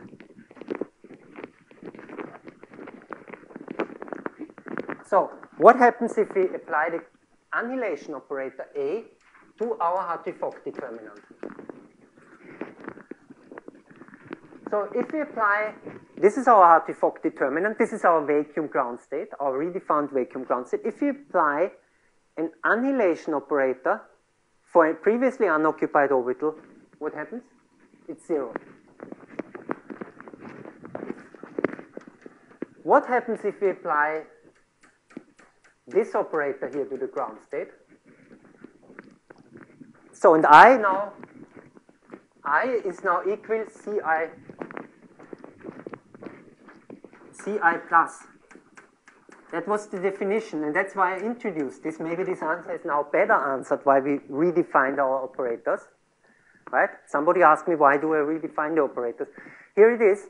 I creates a hole, or actually it annihilates a hole. It's equal Ci plus.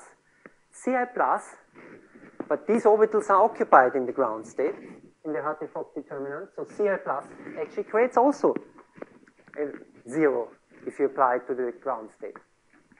So that's why this normal order is so super useful, because by normal ordering all the operators, if you normal order the operators, you get something. If you actually apply it to the vacuum state, you will get always zero. Or if you apply it to the Hartree-Fock ground state, you will get always exactly zero. That's why we introduced normal ordering.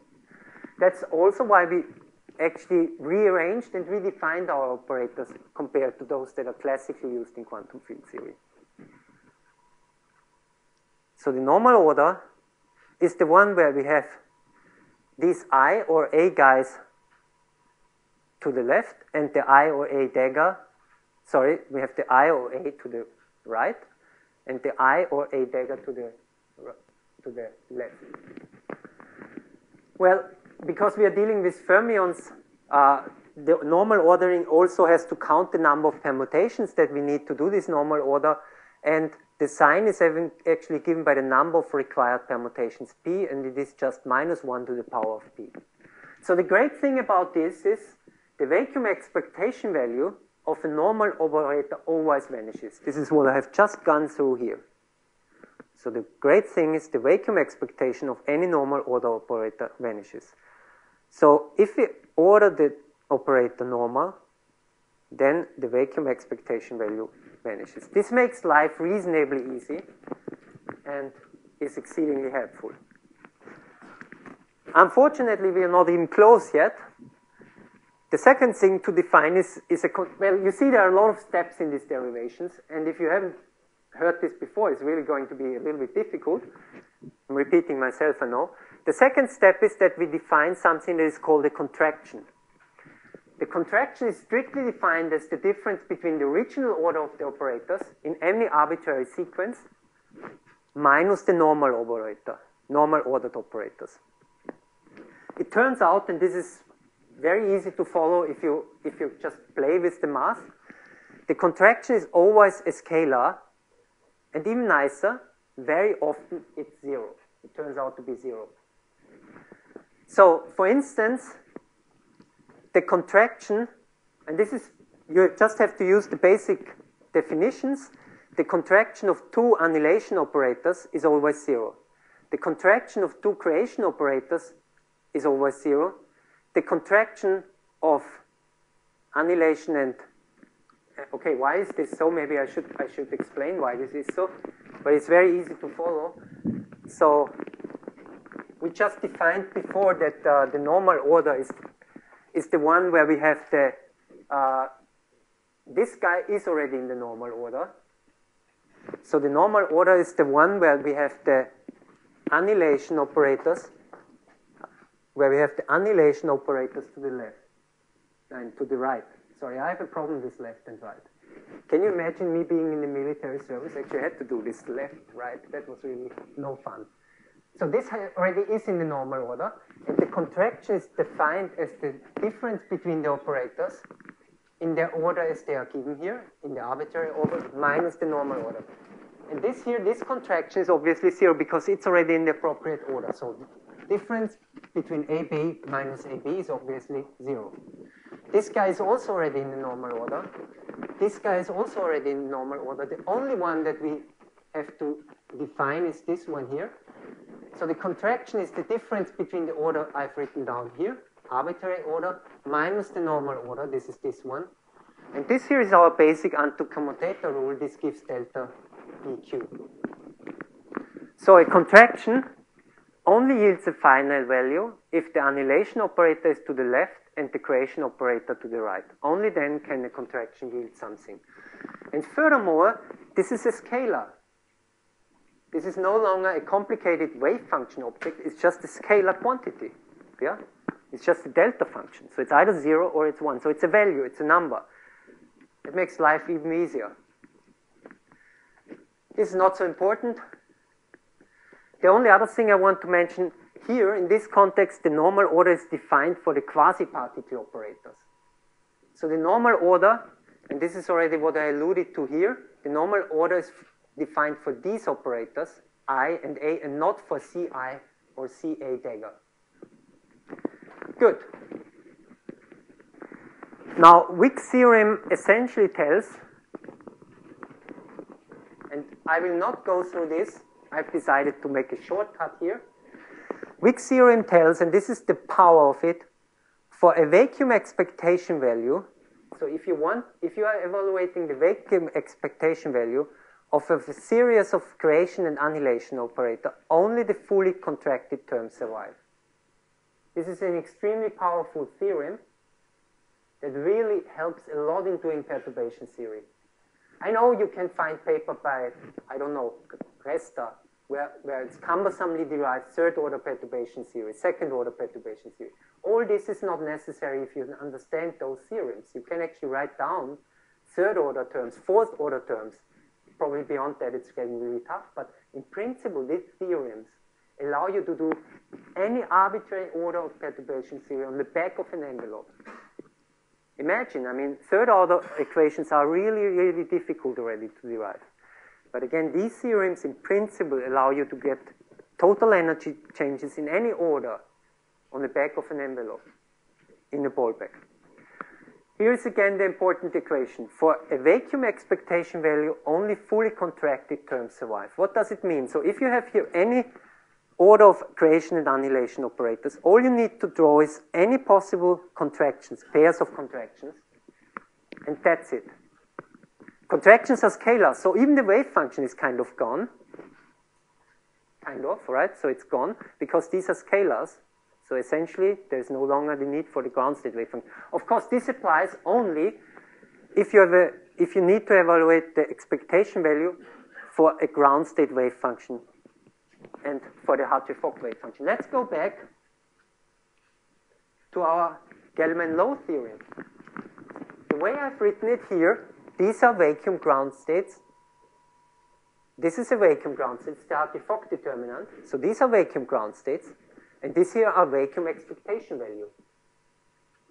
So the combination of Wick's theorem and the Gell-Mann-Low theorem allows you to calculate the correlation energy, or essentially write it down compactly.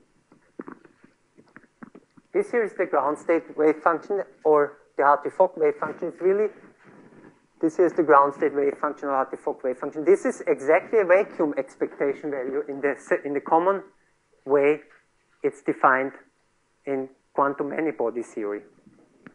Only we have redefined things a little bit. Okay, quickly we have done a few things here. Uh, for the normal order we have done, well, it's not me that has, has done it, actually you can find it in many books. We have only uh, changed a little bit the reference. The reference is now a Hartree-Fock reference. And we have redefined a little bit how the normal order is. This is the only thing I've essentially done. Oh, now I know where I'm going in the wrong direction dreadfully. So, good. Let's be practical and just show you what you can do with this theorem. This here is our many-body Hamiltonian in second quantization. It's essentially the perturbative term that we have. That's the perturbation we switch on. This guy. So the combination of Gell-Mann-Low theorem, so this is our perturbation, and we just do lowest order perturbation theory. Actually, this is first order perturbation theory. So we apply, we just look at this value, and we assume this u of eta is just 1. So we set the u to 1. Then we just need to evaluate Hartree-Fock determinant, H10, and that's the other Hartree-Fock determinant. We just need to evaluate essentially this, and we cancel and drop this particular term. This is H1, this is our perturbation. And what I've told you, and that's, that's Wick's theorem, if you want to evaluate the vacuum expectation value, this is a vacuum expectation value, this is the Hartree-Fock determinant, Hartree-Fock is our vacuum state. All we need to evaluate are all possible contractions, for instance, AB, CD, AC, contraction between those two, BD, contraction between those two, AD, BC. These are all possible permutations that we have. There are no more. Now, many of these contractions are zeros. For instance, if there are two occupied orbitals, or there are two, two annihilation operators, it will be zero. This will be zero. So essentially, a lot of terms will drop out. And it turns out that the only non-vanishing term is annihilation to the left and the same creation to the right. This is this here. This is the only contraction that will give non-zero terms. So it's an annihilation to the left and the same creation to the right. This is the delta function, same creation to the right, right and left. And the only non-vanishing term is annihilation to the left, it's the same creation to the right. These operators are, however, ordered a little bit, well, these are the standard quantum field creation and annihilation operators. Be careful, these are these guys here, not these transformed ones. And it turns out the only contribution that we will have is if the right operator is a whole creation operator. So if this here, Ci is equal I dagger plus, only then we will have a contribution. So these are the only terms that survive in first order. So it's actually, this Cs must be essentially, this Cs must be a I dagger operator. Now this, this looks strange. Yeah, essentially this, this CS must be L dagger operator and this CR must be a K dagger operator. And only if I is equal to K, you get a contribution. So only if I is equal to K, then you get a contribution. Only if L dagger is equal to J, you get a contribution. So only if these two guys are the same and these two guys are the same, you get a contribution. And this is round, written down here. In, in my next lecture, I will use a much simpler reasoning to derive the same equation. You will see that later that this can be done really easier in first order perturbation theory. This is a little bit complex. There's an easier way to do this, and I will come back to this, so don't worry too much if you don't understand it. But this here is exactly the Hartree-Fock energy for the ground state determinant. Good. Now we can do this in higher order. We can do it in first order, for instance. So essentially what we do is, here we have again the vacuum expectation value, as we obtain it from Gell-Mann-Low theorem. And now we take the first order term for this. So we just take the first order term for the Hamiltonian H1, or for the time propagation operator. So this is our time propagation operator. And remember, we propagate from minus infinity to time t0. Minus infinity was Hartree-Fock.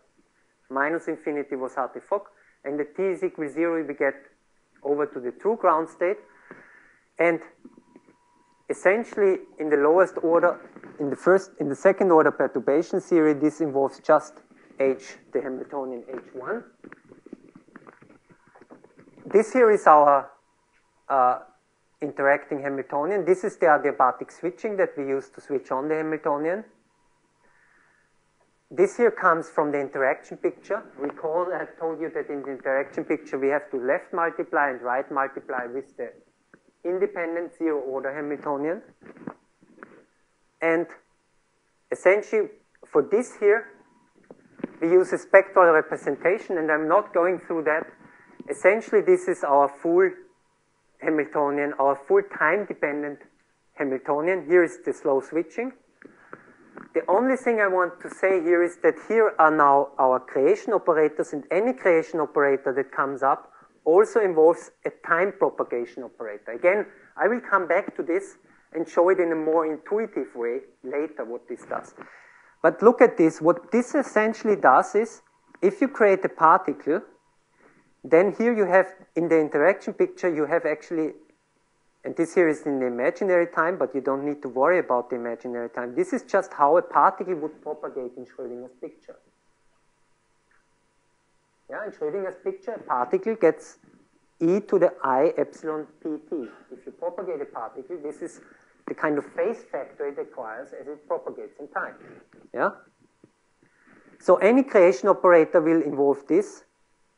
Here, similarly, so this here is an annihilation operator, and that involves essentially propagation of a hole, and therefore the negative sign. So any annihilation operator that will later come up will have these exponents essentially in there. This is just rewriting the original perturbation into this interaction picture. Nothing has happened here, but we have rewritten our Hamiltonian H1, our perturbation, into this interaction picture. That's all I have essentially done. So now we need to do again Wick's theorem, and very quickly it becomes cumbersome. Now we have eight creation, and, sorry, four creation and four annihilation operators, and it gets really like complete mess.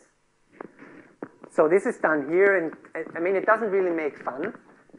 And now you might say, why the hell do I then use this, these crazy theorems, right? I mean, I've told you before this is very powerful, but now you have all these possible contractions. Oh, it's dreadful, right? So it doesn't look like a lot of help. And that's where diagrams come in. Diagrams are an exact one-to-one -one correspondence between complicated algebraic expressions and graphical representations. They are very clever means, and if you want so, if you haven't understood anything, that's still okay now. You can still come back at this point, okay? The diagrams are lovely, okay? Because they are exceedingly powerful, and they just, maybe forget about everything I've told you. I've tried to give you the background of all this, but you don't need it. That's a good point. From now on, you just need to love Goldstone diagrams because they allow you to forget about the complicated derivations and do everything on the back of an envelope. Actually, I learned Goldstone diagrams first and only then looked up the theories once. Maybe what I want to show you is you should read the theories once, but you can also instead just use the rules I will give you now for Goldstone diagrams and construct perturbation theory of an arbitrary order. So here are my diagrams, and I've tried to capture how they work. Here we have a Coulomb interaction, and here we have the creation and annihilation operators. Any creation operator has an outgoing line. Any annihilation operator has an ingoing line. So here we have an ingoing line, and here we have an outbound line. Goldstone diagrams are time ordered, so there is always a time that propagates in these slides, inconsistency between me and my later slides. There are Felix slides and my later slides. Time here propagates only from, from up, from the bottom here up. So time propagates upwards. In my later slides, it will always propagate downwards. So essentially, let's look what this means. This means an electron comes in in an orbital s. This means an electron comes in in an orbital r. And this here means that you annihilate those electrons at this point here, and then create at that point here an electron p and an electron q, and they continue their propagation in time. This here is the Coulomb interaction, and the way you connect it is P and S are at the same space point, and R and Q are at the same space point. So essentially what we do here is we convert the algebraic expression here into this diagram here. These are the two particle operators, the Coulomb interaction. These are one particle operators. So we have an electron coming in here and an electron moving out here. So essentially we come in here with an electron, we annihilate it at the position Q, and we create a new electron in the channel P. And this here is our Coulomb interaction, PPQ. So this is essentially uh, a graphical rule how to convert these second quantization terms into graphics. So the one electron potential in this talk at least will be replaced by a dashed plot. That's usually done in quantum chemistry with one incoming and one outgoing vertex. And the contraction operators, I don't know what that means. Forget it. So here is one example. This is the Hartree-Fock term we had just a few slides before. This here is the Hartree-Fock term we had just a few slides before. This is this here. And actually we can use diagrams to represent this. So we have here a Coulomb line and a particle I propagating here to this point, and here it's a particle J propagating backwards, and here's the Coulomb line. This is an exact con conversion of this diagram here that we had a few slides before. Just look back, and if you apply those rules I've given you here, you can immediately convert the algebraic expression that we had in first order perturbation theory to this nice little diagram here. Now, believe me that this is much easier to remember than this ugly guy. Actually, a lot of physicists, including very smart ones like Lucia Reining, they don't like diagrams for some reason, and then they do 10 pages of derivation, and I look one minute and tell them these indices need to be swapped. This is just by the means of diagrams, yeah, which are extremely powerful and extremely compact to represent the equations. This here is the Hartree interaction I've drawn before. So this here is the diagram that we had three slides before. This is how I wrote it down. And now you use these rules here. Here you have a closed circle because I is coming in twice here as I and I dagger. And the way it's connected and the rules I've given in here means that they run back into the same vertex here. And here J runs also into the same vertex here using just these rules. So what happens is essentially that this vertex connects back to that vertex by the virtue that P and S are the same. So if P and S are the same, you reconnect the vertex. If Q and R are the same, if these two are the same, R and yeah, Q and R are the same. This is here. These two are the same. They need to be reconnected essentially graphically. Another rule I need to say here is if they are closed loops, you only need to sum over the occupied states. That comes also from Wick's theorem. And it essentially means any closed loops, and also if the loops are at equal times, it's always only a sum over occupied states. So, I will not walk through this. I will not walk through that. I will leave, ah, this would be, well, these are derivations that are a little bit complicated, but you don't need to know that. So, essentially, at the end of the day, all you need to do is you need to draw all possible diagrams that you can figure out yourself, all possible permutations, where the diagrams need to be completely closed. And for instance, in second order, you have at most two Coulomb lines. And try yourself a Coulomb line. Yeah, I have really too little time. Um, It's really difficult.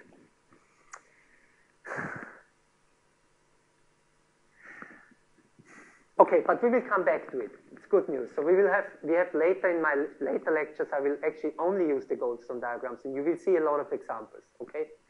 And I will give you again an introduction to it. Here's, for instance, a second order diagram. A Coulomb line, a Coulomb line here. This here is an electron line. And since time here in these slides moves upwards, this is a hole line, this is an electron line. So whenever the arrows go in my slides when they go down. In those slides, if they go down, it's a, it's a hole.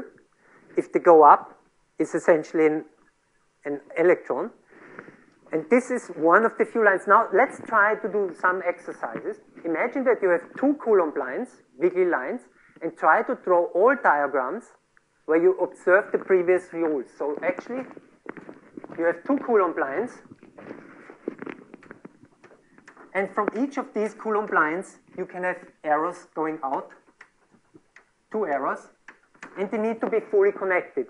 There are not so many possible choices, right? You can connect those two, uh, and then either you can connect those two, or you can cross those two. Right? This is about all you can do. And this is kind of shown on those diagrams.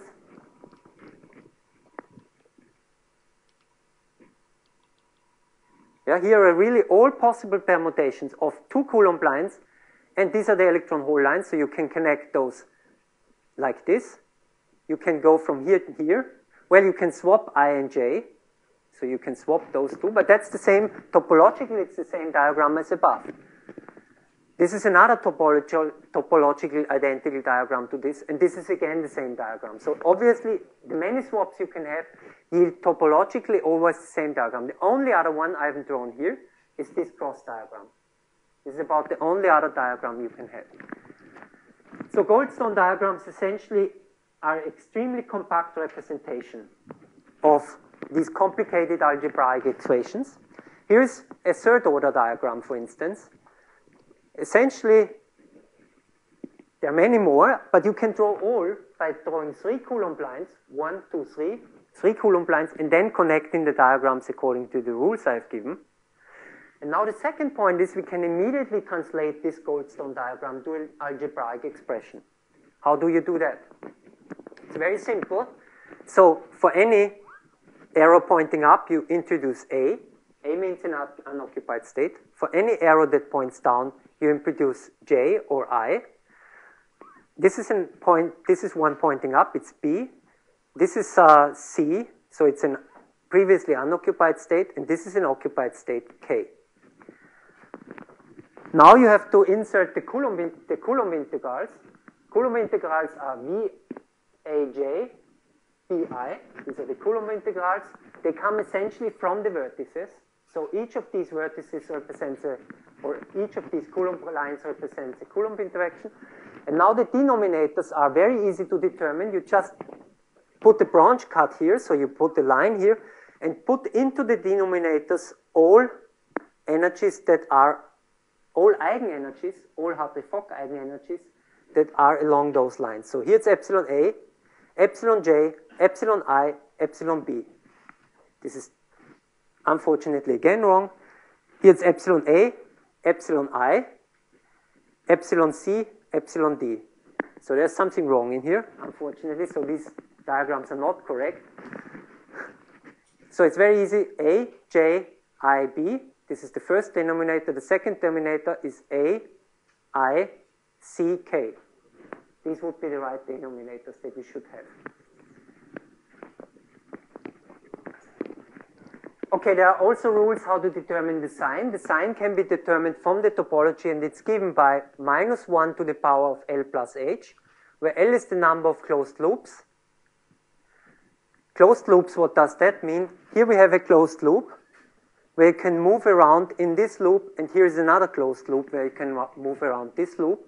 So this is a so-called closed fermionic loop, so you can move in this loop without interruption, and that's a closed fermionic loop. So all you need to do is you need to count the number of fermionic loops, and you need to count the number of holes line, hole lines, and that gives you the sign. The number of hole lines are essentially, in this case, those that point upwards, A, B, and C. So the number of lines that go upwards determine the number of hole lines, and the number of, sorry, the number of hole lines are actually the one, yes, I, jk, yes, I've counted it correctly, and the number of closed fermionic loops in this case is 2. So this gives you the sign. Jesus. Okay, next time I take double uh, 4 hours. That's clear now. I'm really sorry for this mess. Okay, I will skip the linked cluster theorem. The linked cluster theorem is very important, but I will not do this. Essentially, it allows you to determine and use only those diagrams that are completely linked. So those that are unlinked, so you could, for instance, draw diagrams that are unlinked, And there would be many more diagrams that come up, and those don't count. So in this perturbation theory, you only need to include those diagrams that completely link. So, do I need this? Yes, you want food, right? Next time. Yes, I'm almost finished. Seriously, I'm, I'm not joking. I'm almost finished. I will finish after this slide. I know I have 10 more slides in principle, but I will not show it. So maybe I will come back to it indeed next time. Uh, probably second lecture. So these are all second order diagrams, all second order Goldstone diagrams that you can possibly draw in second order. I want to show this because I will show it again later. So what's the property? Second order diagrams are those that have one Coulomb line, this counts, so two Coulomb lines, or one effective interaction and one Coulomb line, or two effective interactions. These are all second order terms. These are the one electron interactions that we have switched off. So we have switched off Hartree-Fock. These here are Coulomb sets. So this is second order, two of these blobs, second order, second order, second order, second order, second order, second order, second order, second order, second order, and second order. These are all possible diagrams we can draw in second order. There are not anymore. And we can actually transverse and convert those diagrams into a compact perturbation equation. Exactly according to the rules I've given you before. You just draw a line, and then you label the states, you put in the Coulomb integrals, and you put in the denominator. The sign can also be determined. Same here, same here, same here, same here, same here. If you start from the Hartree-Fock reference, and that's a nice thing why many people do that, if you start from the Hartree-Fock reference, all these diagrams drop out. So it turns out if you start from Hartree-Fock, these diagrams by some trick that's called Brillouin theorem become exactly zero. I will show you this a little bit later in a different way, in a slightly different language. All these terms exactly drop out. The only one that survives in second order are those here. And these are called Møller-Plesset perturbation theory terms. These are exactly the terms in lowest order perturbation theory. If you start from DFT, these diagrams need to be included. Yes, I know people need to eat now. I will skip this because I will talk about propagators later. And I will probably skip the Feynman diagrams anyway. Yes. With that, I thank you for your attention, and I'm really deeply sorry that this was far too much. Typically, for the first case it's presented, it's always too much. Anyway, thank you. We will come back to many things.